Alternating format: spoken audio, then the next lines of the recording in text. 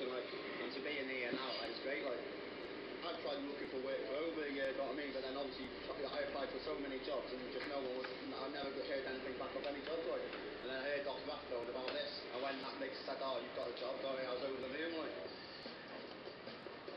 Very soon, Jim Pickering will be front of house at the Taste Academy, taking orders and serving customers. I'm excited about being in work. Railways found their most eloquent advocate. Evercreech Junction, Somerset, because to be the Clapham Junction of the West, the place where one line branched away to Bath and collared the Midland trade, and the main line ran to Highbridge and collared the coal from Cardiff. That Pickwickian figure in the frightful hat is, I'm sorry to say, me talking to the station master. But a station master's life, that's something worth living. I'd like to have met Betjeman. A line from one of his poems, Parliament Hill Fields, is one of the reasons I started writing railway fiction. Rumble under, thunder over, train and tram alternate go. Something to do with the way a very dynamic image is created from such unpretentious language. A friend of mine did meet John Betjeman. He was helping the platform guard by slamming the doors on a train at Didcot railway station. Do you work here, Mr. Betjeman? But, but, but I actually asked him. The uh, idea, beamed the poet. For Betjeman, much of the railway's appeal was its permanence. It was a very useful request from our forefathers. As he writes in Pershore Station, the Victorian world and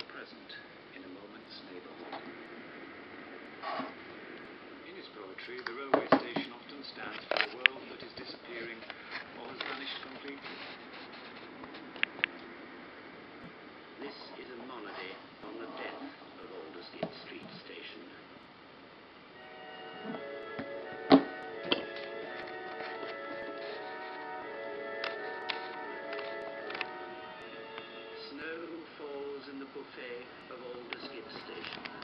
Soot hangs in the tunnel in clouds of steam.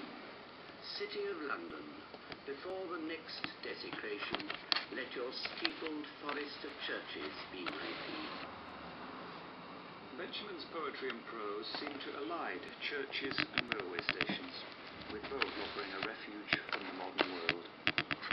I find it very apt that he was behind the campaign to save St Pancras from demolition.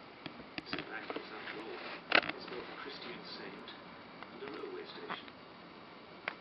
Betjeman really at the root of the railway preservation societies. He tried to save uh, the Euston Arch and, they got involved. They lost that campaign. Um, but then in the uh, 1960s there was a plan to demolish St Pancras. Seems extraordinary now, but uh, uh, he was very active in ensuring that did not happen. And that so St Pancras,